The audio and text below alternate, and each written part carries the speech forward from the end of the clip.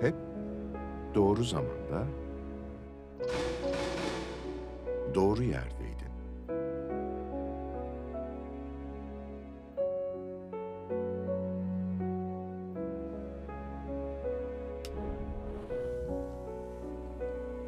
Değer verdiklerine özenli ve şefkatliydin.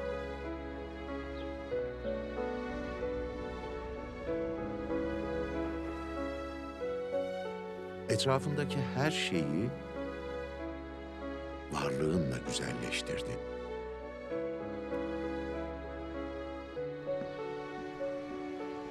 Tüm bunları yaparken asla yalnız değildin.